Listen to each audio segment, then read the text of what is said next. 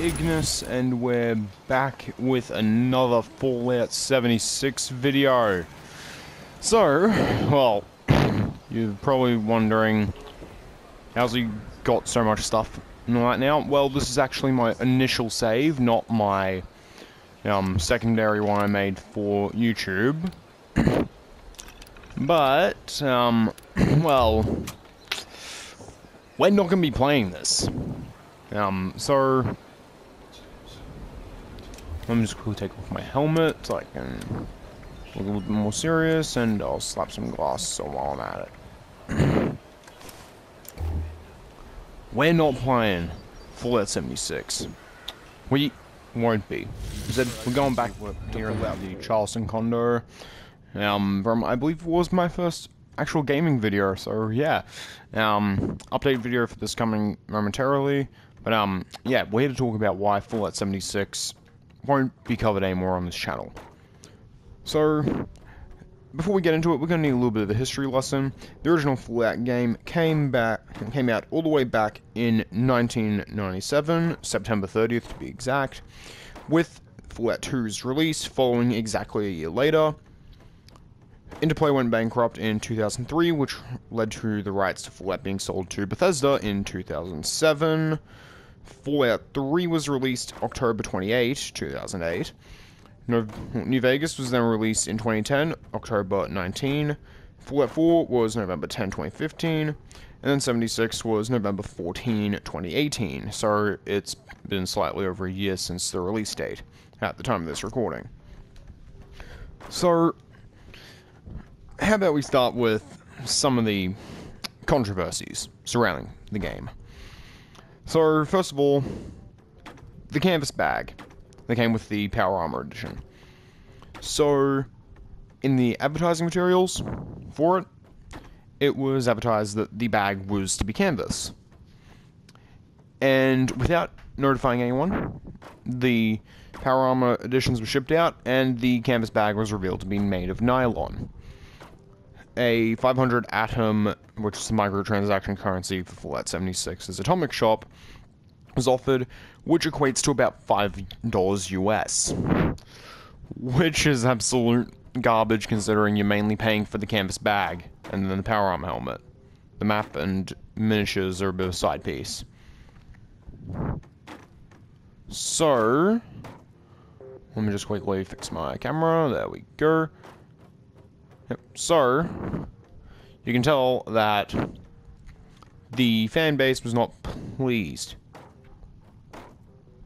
And the um, can sorry, canvas bag pre oh, sorry. orders for actual canvas bags were placed after the fact, and it took them about four to six months to be distributed, and they were sent out by June of 2019. And uh, yeah, like this just goes to show that Bethesda's a bunch of idiots and thought, oh snap, we haven't got all the stuff we need. We're just gonna make it out of nylon and cop out on it. And the stupid thing about that is that Bethesda lied initially. They said that the uh, canvas was too expensive for them to be able to use. When in actuality, it was a when they actually believed it to be a canvas shortage a few months later. So they need to either get the story straight or make up their mind as to what the real problem was. And another thing regarding that, the canvas bag, as advertised, was sent to influencers and big, fancy, uh, like high rollers that know what they're on about. And um, the apology, which included, of course, the 500 atom, was just BS. It was it was garbage. It was absolute bullshit. Bethesda needed to get stuff sorted out. If there was a change, they had to announce it. It's quite simple. And uh, this next little bit leads me on to my second point. When the customer support uh, section on the Bethesda website opened up for the canvas bag, there was a glitch in the system which allowed for people to close down other people's support tickets and also a list of information about customers was leaked. Which goes to show that Bethesda does not care. Like, at all. So, that brings me on to the tech support and glitch side of things. The dev room was accessed because Bethesda didn't remove it from the release version of the game. And if it was a single player game like Fallout 3, Fallout New Vegas, Fallout 4, that'd be all good. It'd be fine. In fact, that'd actually be a great thing. Because there'd be weapons you'd be locked out of getting for certain choices you make in your quest lines. But with Fallout 76, it's designed to be multiplayer experience. So, what are you doing, Bethesda? Sort your crap out. And having it accessed actually broke some of the in-game economics and broke the game itself in some places. And, well, Bethesda tried to find out how people accessed it to patch it. And most of the people who accessed it sent what they'd gotten over to their main accounts by using a dud account to access it and they did nothing to reclaim the dud accounts. So yeah, that just goes to show Bethesda is further idiots. In addition to this, at the end of last year, start of this year, at the time of this recording, the nukes were disabled because Bethesda had not um, decided to set the server clock to run over multiple years.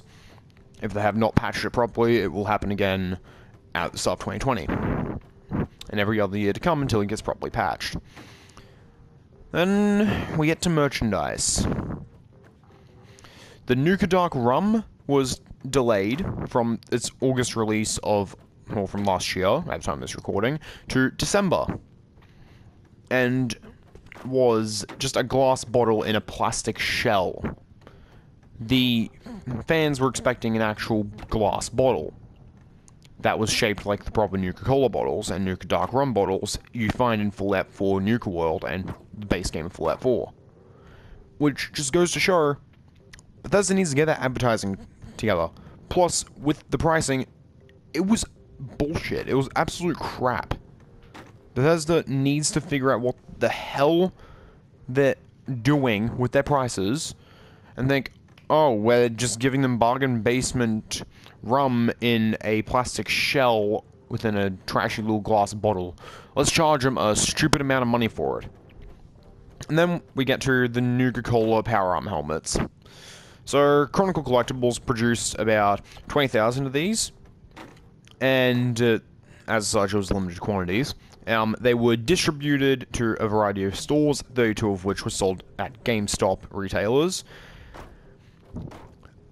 there were a few problems. We'll, we'll, put it delicately, such as there being freaking mold in the bottle. Sorry, in the helmets. Mold. Clearly, Chronicle Collectibles, who Bethesda had hired, does not have a decent track record with this. Because models, well, the helmets that had mold were recalled. No incidents or injuries are known of, and GameStop notified their customers and offered them a full refund. See, at least GameStop offers a proper refund. Bethesda, you need to sort this out. If a retailer sells your merch, is giving a full refund, yet you're not, it shows there's a problem with you. Not with the retailers or the fans, it's a problem with you. Then we've got Fallout First. It was announced October 23rd, 2019. It's basically Fortnite's Battle Pass in Fallout 76, which is bullshit enough. I mean, if it was just adding in a few additional emotes and then maybe weapon skins that did absolutely nothing, yeah, it'd be kind of, cool, it'd be fun. But it's been adding in content that should have been in the base game. You know, like unlimited storage within a uh, stash box variant, fast travel points that you can place wherever on the map, and of course, private servers. Something everyone has been wanting since the game's launch. Heck, since before the game's launch. And Bethesda teased, hey, we're going to probably be doing private servers. But they didn't do private servers properly, and they waited just shy of a year of after the game's release to add it. And they decided to add it through a freaking subscription service. That's absolute fucking bullshit. And then we'll get to the launch information. So, you'll remember when Todd Howard came up at E3 last year and said, Hi, you know how Fallout 76 is a thing? You can play it solo, despite being an online game. They didn't explain, oh, sorry, he didn't explain what playing it solo means. Because there's no solo player mode, there's no offline mode to play it. You have to play it online, meaning you have to deal with people. Which, when I'm playing my Fallout games, I don't like dealing with actual people. I play the games so that I can just be me and be stupid and do all kinds of crazy crap. And, oh yeah, the beta for 76, that was tied to the pre-order. You had to pre-order the game just to get access to the beta. And um, Todd Howard's infamous line about there being 16 times the detail of Fallout 4 is further bullshit. Because the detail graphically is less than or equivalent to Fallout 4 in most areas. Only like three areas exceed the detail. Which is rubbish. PC games, well, sorry, gamers that use PC have to use the Bethesda launcher. They can't launch it through Steam or any other method, which is bullshit because if you're a gamer, Steam is literally what you use. That is the definitive game service for computers. And oh yeah, did you hear? The PC version of the game can delete itself. Which, that actually happened. A bunch of times for a bunch of people. And then comes the physics of the game. It's tied to the frame rate, and it could allow speed hacking. It was fixed in mini quotes, according to Bethesda, by capping it at 62 frames per second, and then it was later on capped. Meaning Bethesda doesn't know how to solve their own problems. And then we get to patch size the day the game came out, as soon as you loaded it up, hi, we've got a patch for you. That's literally what it has been. But that's just, hey, we've got patches. Big ones. Have fun with that. And I think this might this game might actually be a contender for biggest game patch in history, right up there with Assassin's Creed Unity. And at launch, there wasn't a field of vision slider at all. You had to wait for that to get added in with a patch and the game was a technical mess. So, yeah, between all the you know, friggin' access to the dev room, the nukes being disabled, the uh, game just being glitchy, like glitching through the floor, um, uh, invisible mobs showing up, all that kind of stuff. The game was not fit for release. It was not in decent state at all. There was also a lack of mod support straight out of the gate, which, given it's a server-based game, is understandable. They announced private servers. Private servers didn't get added in until October of the year this video was uploaded. Still waiting to hear if those are going to be mod supported. What are you doing, Bethesda? And in addition to that, design, the design aspects of the game were rather questionable. The way PvP works, so with how PvP functions, until you hit level 5, you can't engage in PvP at all, which is play versus play combat for those of you who don't know how acronyms work. So, the uh, whole thing with that is you have to wait till level 5 before you can start killing fools, and you have to mutually agree for it to be PvP.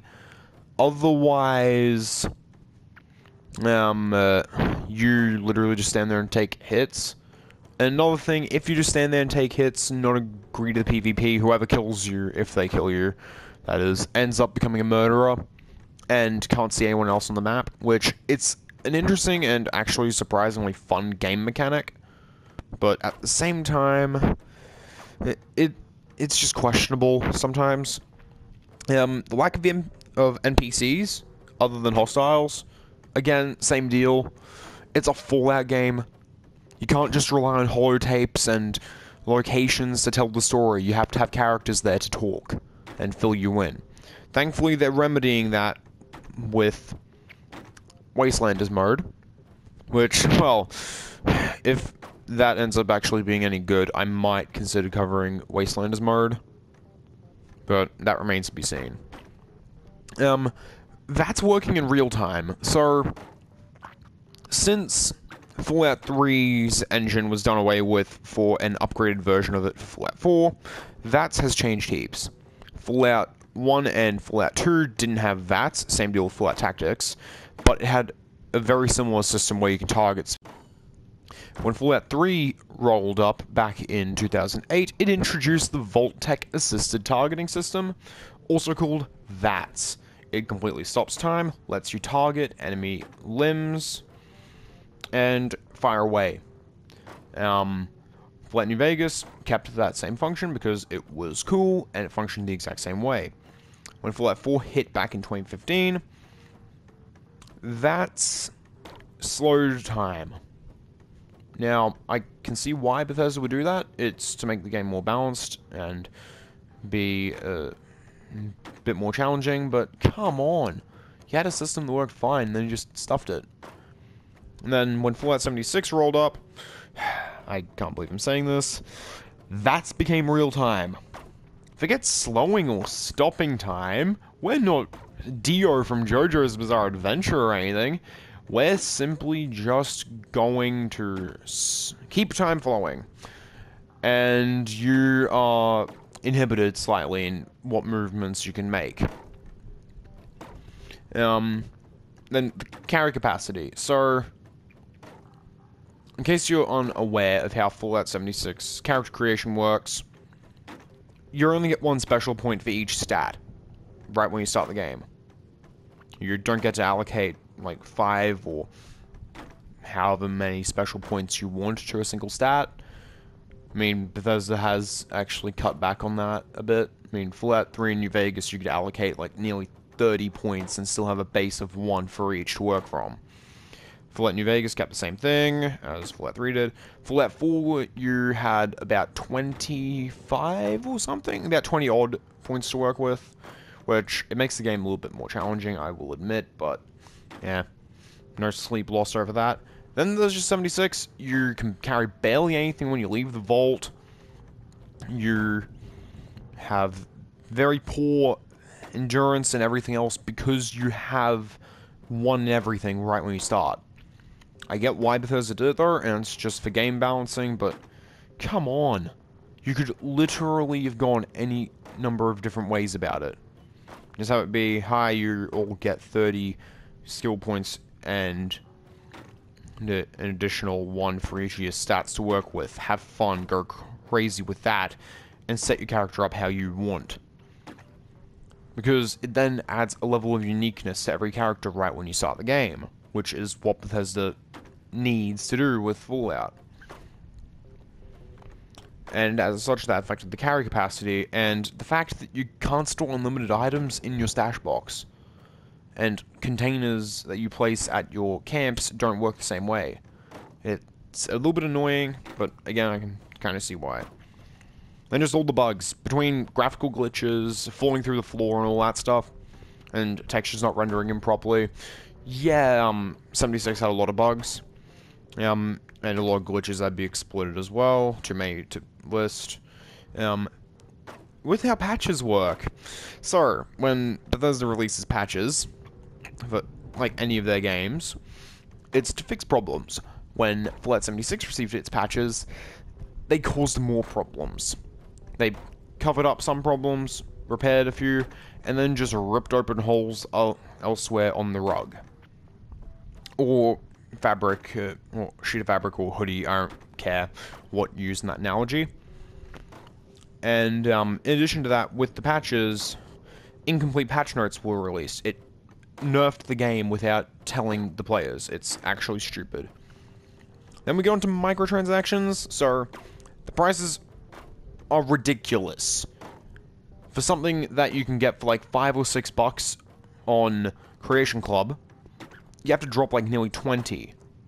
And a lot of the content on Atom Shop is part of the Fallout 4 base game and stuff you could get without having to drop like 20 odd bucks. Some of the stuff is, albeit brand new and fully unique, but come on. Instead of selling individual items, sell it as a big pack and have it for like 20 bucks. And say, hi, we've got a massive new pack of DLC for you guys. If you want to buy it. We don't particularly care. Because we, with how Fallout 7, no, no, sorry, with how Fallout 4's uh, microtransaction equivalent works, it's essentially, hey, here's the base game and a bunch of things that you can buy that we'll be constantly releasing fresh ones of and occasionally having discounted and or completely free for a decent amount period of time. And yeah, just get it if you want, we don't care. And in addition to that, Bethesda said microtransactions were not going to be pay to win. And yet a couple months later they decided to release the Unstoppables costumes. Which, if you're playing in a squad with people where everyone has a unique costume, you get a special buff. And, like, I think the damage resistance or something increases. So, you're effectively paying to get better gear. And um, in addition to that, with how microtransactions are, Bethesda refuses to refund anything unless it's legally required by law within your country. Which, like, it's stupid, because keep customers and keep the Fallout franchise going, as well as have the game actually be popular, it makes sense to refund it. Even if it's just in part. And, well, yeah, I don't really need to say much more. So, what what's the verdict here? Will we be covering Fallout 76 again? No, unless Bethesda gets their crap together, fixes the game, actually starts giving a damn about the players, and provide Wasteland mode is actually decent. I might use footage from Nuclear Winter mode occasionally in update videos, but again, that remains to be seen. Anyway, it's yeah, well, it, it's a touchy subject at best. So, um, yeah, it's been your boy Ignis, and I'll